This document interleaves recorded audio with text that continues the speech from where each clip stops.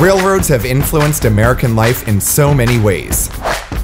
They gave us our modern time zones, upgraded our nutrition by making fresh produce available nationwide, and even redrew the map of the United States. And it was a rail company that proved to be one of the most influential architects of the American 20th century, upending US labor relations, changing the way we travel, and even creating the country's very first planned community. By now, you probably know that I'm talking about the Pullman Company. If you were riding in a sleeping car in the US at the beginning of the 20th century, you were almost certainly riding in a Pullman car. The company both built and ran sleeping cars on American passenger trains. Passengers would buy their fare from the railroad that they were traveling on, but then would purchase a room separately from the Pullman Company. Pullman maintained the cars and provided the staff to take care of all the passengers' needs. Led by George Pullman, the company founded the town of Pullman, Illinois in the early 1800s. The town contained offices, factories, and an entire planned community where all of the employees and their families had access to shops, restaurants, schools, hospitals, everything they needed, all provided by Pullman. The town played a significant role in the labor movement. The Pullman strike of 1894 began here and had a profound impact on workers' rights in the United States. At its height in the 1920s, Pullman operated over 9,800 cars. Some nights, more people would be spending the night in a Pullman car than in any hotel chain in existence, thereby arguably making Pullman the largest hotel company in the world. The company's cars were highly sought after by passengers, and the Pullman name quickly became synonymous with luxury and comfort. They were a major part of American rail travel, and its legacy lives on today. Relics of the Pullman Company include more than just the handful of private cars still roaming the rails. Even Amtrak contains some traces of this history, if you know where to look.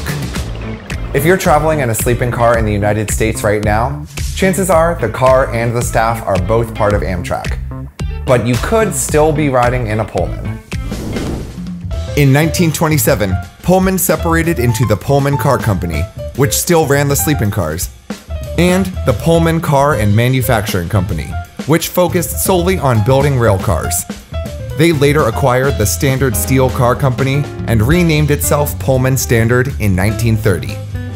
They eventually got out of the business of operating sleeping cars and Pullman Standard concentrated on building not only sleeping cars, but other passenger cars, mass transit vehicles, and even freight cars.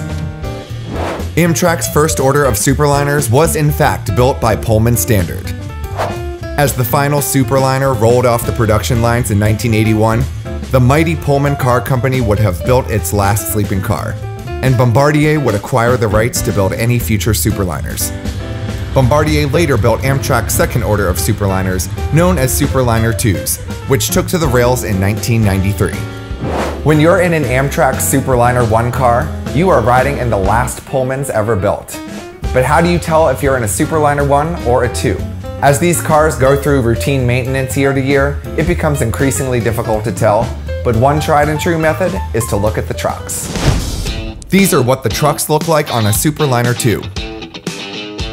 And if the trucks look like this, you are most likely riding in a Superliner 1, the last of the Pullmans. Another way you could tell them apart is by the closet in the roomettes. If yours has a closet, then you're in a Superliner 1. These were removed from the plans when the 2s were being built in order to make the roomettes feel more spacious. Superliner 1 sleepers also have larger restrooms, and received various upgrades that the Superliner 2s did not because they were already newer. You can usually also identify these updated Superliner 1 cars by their fake wood paneling. Today, the town of Pullman, Illinois has been designated a national monument and park. Several of the buildings, including the main office building, some of the factories, and the Hotel Florence have been thoughtfully restored and are available to the public for tours. And of course, one of the most exciting ways to relive the heyday of Pullman is to take a ride in one of their historic cars. I recently completed a 5,000 mile tour of the US riding in three of these restored cars the Salisbury Beach, the Colonial Crafts, and the Lambert's Point. A full video on this amazing adventure is coming your way later this summer. But for now, check out this video about one of the most iconic cars that Pullman ever built, and take a ride down the Hudson River on the most famous train in the world. Please like and subscribe to help me bring you more videos just like these. Thank you for watching Rail Weekly.